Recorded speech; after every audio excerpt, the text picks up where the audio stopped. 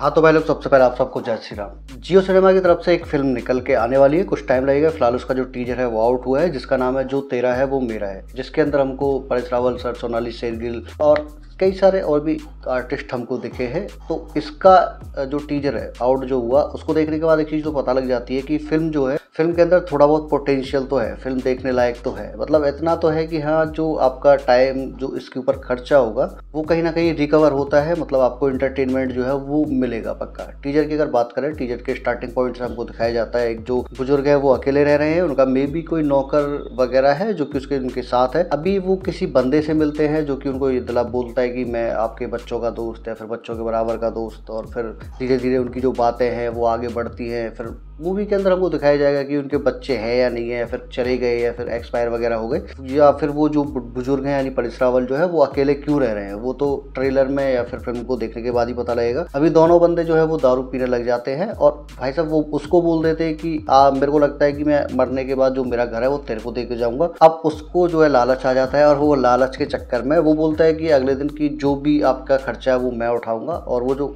पूरा खर्चा है।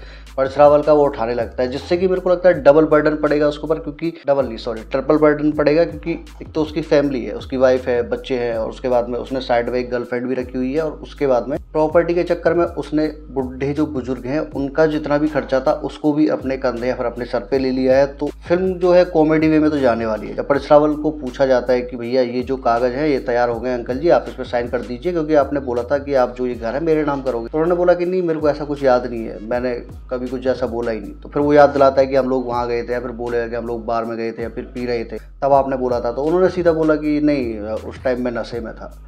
तो जितना भी एक उम्मीद थी, जितनी भी एक उम्मीद चढ़ी थी, आप ये समझ लो कि पूरे के पूरे पे उसने एक जो शब्द था कि मैं नशे में था, उसने सब पे फ्लश कर दिया। अभी के लिए, आज के लिए इस वीडियो में इतना ही। मिलते हैं बहुत जल्द एक नई वीडियो में नए टॉपिक के साथ। तो तब तक के लिए बाय